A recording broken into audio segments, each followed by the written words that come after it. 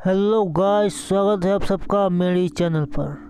सो so guys जिस, जिसके पास भी ये वाला एम्पलीफायर है, आठ ट्रांजिस्टर वाला, जिसमें कि सिर्फ़ चार ट्रांजिस्टर को ऑडियो एम्पलीफाई करने के लिए यूज़ किया जाता है तो अगर वो मेरे भाई इन आठों ट्रांजिस्टर को पैरेलल मतलब एक चैनल पे चार, एक चैनल पे चार करके चलाना चाहते हैं तो वो जो है एक चैनल को नहीं चला सकते, क्योंकि यहाँ पे जो एक मिनट ये जो सेकंड वाला ट्रांजिस्टर है, इसको पावर सप्लाई के लिए यूज़ किया जाता है इसको चलाने के लिए ब्लूटूथ पैनल को।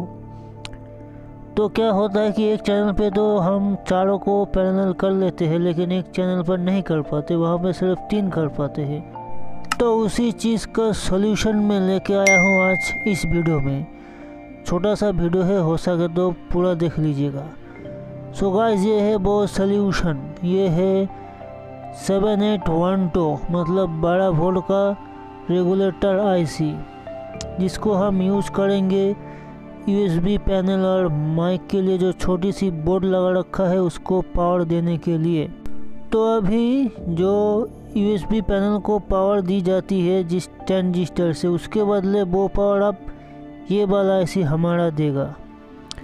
तो अभी जो इस ये छोटी सी बोर्ड को चलाने के लिए और यूएसबी पैनल को चलाने के लिए जो 12 वोल्ट बनाना पड़ता है, वो ट्रांजिस्टर बनाता है। लेकिन हम उसकी जगह पे इसको यूज़ करेंगे। अभी इसका जो कनेक्शन है, बहुत ही सिंपल है।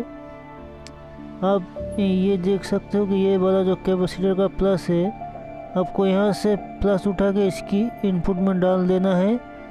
और बीच वाला जो ग्राउंड रहेगा, वो ट्रांसफार्मर की ज़ीरो वाले ग्राउंड पे लगा देना है और बूम लेकिन ज़रूरी नहीं है कि आप कैपेसिटर के प्लस में से ही दो, आप बोर्ड में कहीं भी जहाँ पे 12 वोल्ट से ज़्यादा वोल्ट मिल रही है। मतलब इस ऐसी को 12 वोल्ट से ऊपर की वोल्टेज चाहिए 12 वोल्ट बढ़ाने के लिए। मतलब कि आप इसकी जो इनपुट पिन है, वहाँ पे मैक्सिमम 35 वोल्ट दे सकते हो डेढ़ एम्पियर में। तो 35 वोल्ट नहीं मिलेगा, तब भी चल जाएगा। तो आपको पूरे बोर्ड में ढूंढना पड़ेगा कि कहाँ पे जो है 20 या 25 वोल्ट आ रहा है। तो उस वोल्ट को आप उठा के सीधे इसकी इनपुट में डाल देंगे, तब भी कम चल जाएगा। और आपको आउटपुट तो पता ही है। तो इसका कनेक्शन जो बहुत ही सिंपल है। और गैस इस कनेक्शन के साथ साथ और एक इम्पोर्टेंट कनेक्शन है जो आपको करना है। और वो वाला कनेक्शन आप नहीं करते तो आपका आई सॉरी आपकी ट्रांजिस्टर को इनपुट मिलेगा ही नहीं। तो वो वाला कनेक्शन बहुत ही ज़रूरी है। अगर आप वो वाला कनेक्शन नहीं करते हो तो इस कनेक्शन का कोई फ़ायदा नहीं करने का। सो so गाइस मैंने यहाँ पे बोर्ड को चेसी में से अलग कर लिया है और ये आईसी को लगा दिया है बड़े से हीट सिंक के साथ, ताकि ज़्यादा हीट ना हो। तो अभी मैं आपको समझा ही देता मतलब समझा देता हूँ। थोड़ा बहुत, ये जो इसका फ़र्स्ट लेग है, यहाँ पे हमें देना है 20 से लेके 25 वोल्ट या फिर उससे ज़्यादा दे सकते हो, कोई दिक्कत नहीं। तो मैं जो है इसको वोल्ट यहाँ से दूँगा, ये आप देख सकते हो, ये है प्लस डायोड का। और यही वाला जो पॉइंट है, ये नहीं, ये बीच वाला पॉइंट है, और ये वाला ये माइनस और ये प्लस तो यही से कनेक्शन जो है हमारी ट्रांजिस्टर को मिलती है। यहाँ से, ये देख सकते हो ये वाला वायर। तो ये जो ट्रांजिस्टर को लगती है तो वही वाला मैं उठा के वहाँ पे लगा दूँगा। वहाँ पे लगा दूँगा आईसी के फ़र्स्ट पिन पे। या फिर आप ये जो एलईडी ई यहाँ पर लगी हुई है, यहाँ से भी प्लस माइनस उठा के आप वहाँ पे लगा दे सकते, लगा दे सकते हो, तब भी आपका जो है काम बन जाएगा। और अगर आपको यहाँ से भी नहीं देना है मतलब आप सोच रहे हो कि भाई नहीं देंगे हम कहीं और से ही देंगे।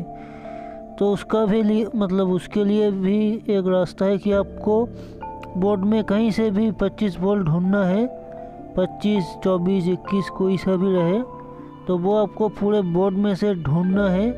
और जहाँ पे भी मिल जाए 20 या 25 वोल्ट वो उठा के आपको आईसी के फ़र्स्ट पिन में डाल देना है। लेकिन मैं जो है यहीं पे मतलब ये वाला लगा दूँगा। ये ग्रीन वाला ग्राउंड है और उसके साइड में जो है वो ट्रांजिस्टर को लग जा रहा है। तो मैं उसी को उठा के लगा दूँगा आईसी के फ़र्स्ट पिन पे। तो चलिए लगाते हैं। सो गाइस मैंने आईसी को बोर्ड में से अलग कर लिया है, ये आप देख सकते हो। और उसके जो साइड में है ये वाले उसके वायर्स और मैंने इसको, इसके साथ पैनल कर लिया है मतलब कि बेस के साथ बेस इमीटर के साथ इमीटर और कलेक्टर के साथ कलेक्टर तो अभी सेट को ऑन करते हैं बढ़िया से। वैसे बढ़िया से ऑन तो होगी नहीं मतलब कि बोर्ड ऑन हो जाएगा, लेकिन हमारा पैनल ऑन नहीं होगा।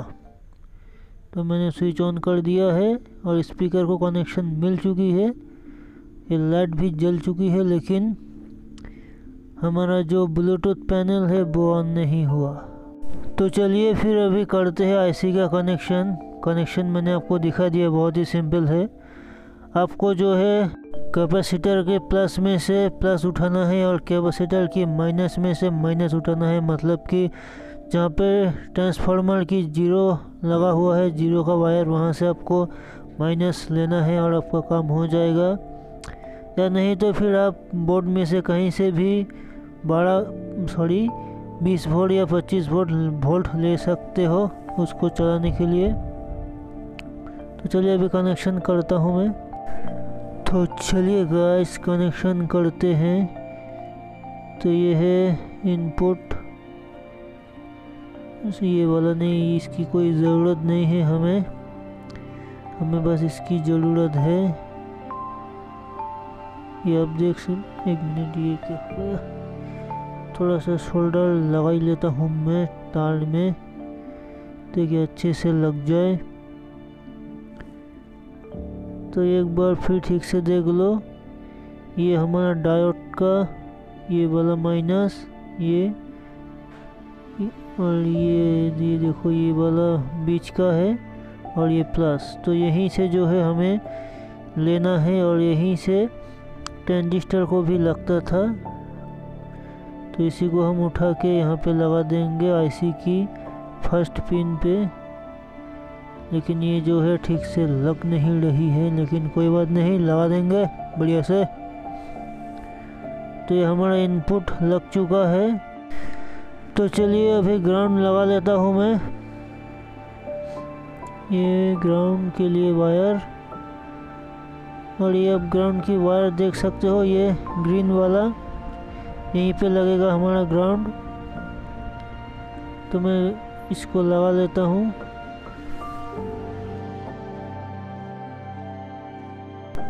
सो गाइस यहाँ पे लग चुका है ग्राउंड का वायर अभी हम इनपुट लेंगे इस बड़ा वोल्ट आईसी में से। तो ये जो पहले ही लगा हुआ था, यहाँ पे येलो वायर यहाँ पे। तो इसी को मैं जो है आउटपुट में लगा दूँगा बारह वोल्ट आईसी के आउटपुट में। तो हमें फाइव वोल्ट के लिए इनपुट मिल जाएगा बारह वोल्ट और वो फाइव वोल्ट से हम अपना यूएसबी पैनल को चलाएँगे। तो मैं इनपुट को लगा देता हूँ सॉरी आउटपुट को लगा देता हूँ। क्या ही बोले यार, इसका इनपुट उसका आउटपुट गड़बड़ हो जाता है। तो यहाँ पे लगा देता हूँ मैं आउटपुट तो इससे जो हमारी सेवन एट ज़ीरो फाइव की आईसी है, उसको बारह वोल्ट इनपुट मिल जाएगा। और वो अपनी आउटपुट में फाइव वोल्ट आउट करेगा तो हमारा जो काम है वो हो जाएगा। तो यहाँ पे देख सकते हो, आप मैंने लगा दिया है।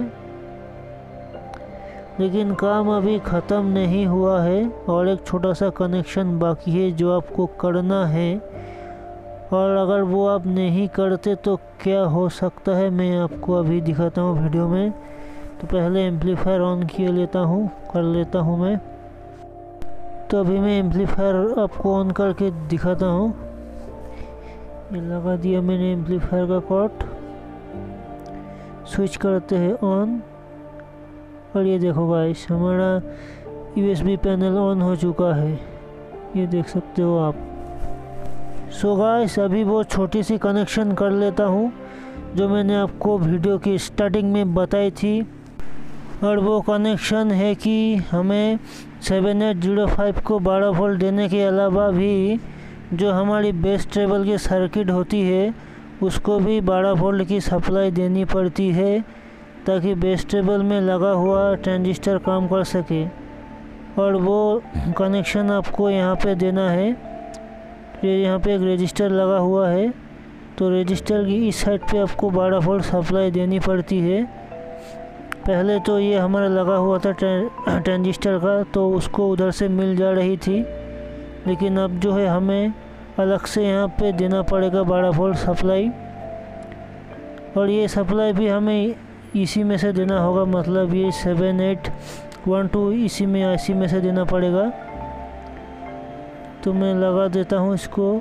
और अगर आप ये कनेक्शन नहीं देते तो आपका तो एम्पलीफायर ऑन हो जाएगा, लेकिन आपकी जो मेन पावर ट्रांजिस्टर है, उनको इनपुट नहीं मिलेगा। सो गाइस मैंने ये कनेक्शन कर लिया है। आईसी में से और एक तार लगा के, ये आप देख सकते हो, इसको यहाँ पे लगा दिया है रेजिस्टेंस की इस तरफ़। तो इससे हमें अभी मतलब कि इससे अभी बेस्टेबल बोर्ड को भी 12 वोल्ट सप्लाई मिल रही है। और दूसरी बात कि अभी मेरे एक चैनल पे चार और एक चैनल पे चार ट्रांजिस्टर को मैंने पैरेलली कनेक्ट कर लिया है तो अभी इसमें मैं फोर ओम्स का भी लोड डाल सकता हूँ। ट्रांजिस्टर ज़्यादा हीट नहीं होंगे। तो मैं अभी आपको एम्पलीफायर चला के दिखा देता हूँ। बस आज के वीडियो में इतना ही। वीडियो देखने के लिए बहुत बहुत शुक्रिया। वीडियो अच्छा लगा तो लाइक कर देना, चैनल को सब्सक्राइब कर देना और अभी जल्दी से हेडफोन लगा लो। साउंड टेस्ट के लिए। पहले एकदम ज़ीरो कर देता हूँ। ये हो गया है एम्पलीफायर ऑन तो बस मज़े लो साउंड टेस्ट का। बब्बा है